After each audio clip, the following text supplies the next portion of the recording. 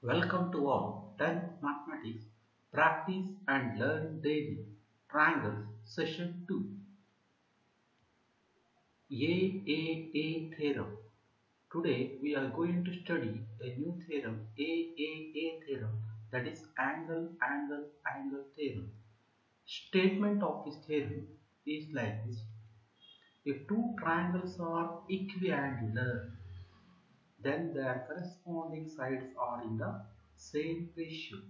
The statement can be tell in another way or if two triangles are equiangular then the two triangles are similar. For proving this theorem we have to need the diagram that is we have to draw two triangles.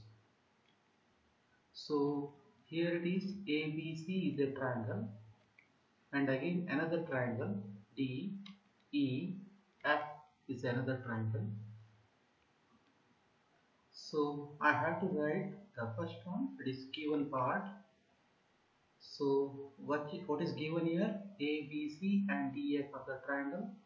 The first part of the statement is if two triangles are equiangular means corresponding angles are equal so in triangle ABC and in triangle DEF corresponding angles means first one and the first one A D B E C F.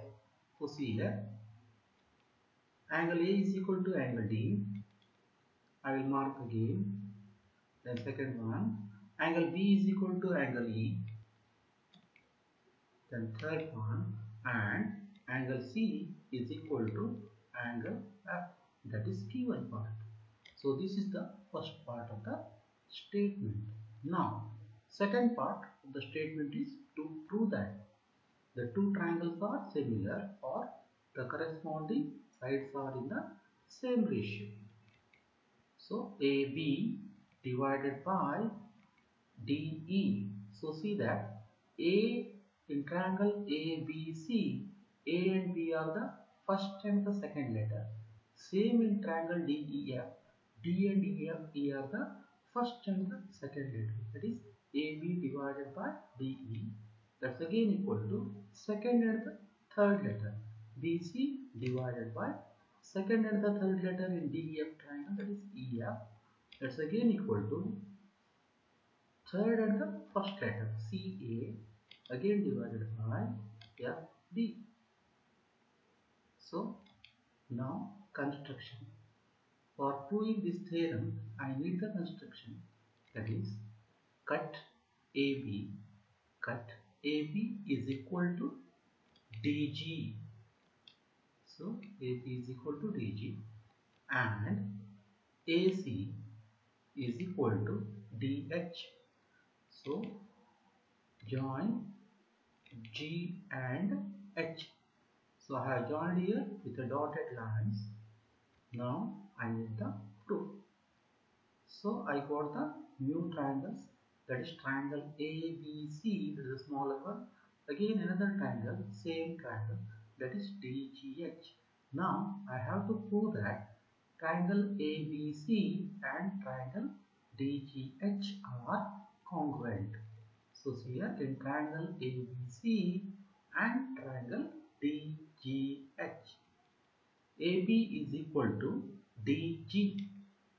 Again AC is equal to DH because that is in the construction part. Next angle A is equal to angle D that is already given. Therefore two sides and including angle that is triangle ABC is congruent to triangle DGH because by SAS postulate side angle side postulate these two triangles are congruent. Congruence means remaining sides or corresponding sides are same. Remaining corresponding angles are also same.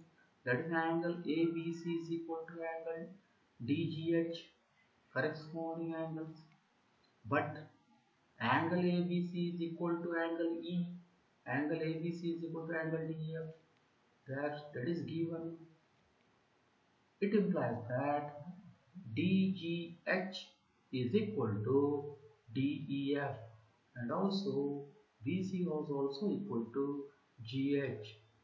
Therefore, GH is parallel to EF. A line parallel when corresponding angles are equal. That is G angle is equal to E because B angle is equal to G angle. B angle is also equal to E already in the given part. Therefore, G and E are equal. Therefore, GH is parallel to EF. Now, we apply the Thales theorem. Therefore, DG divided by DE is equal to GH divided by EF is equal to DH divided by DF because corollary of Thales theorem.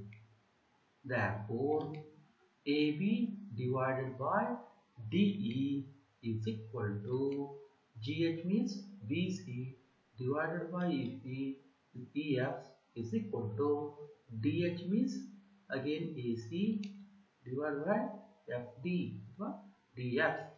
So it implies that triangle ABC is similar to triangle DEF.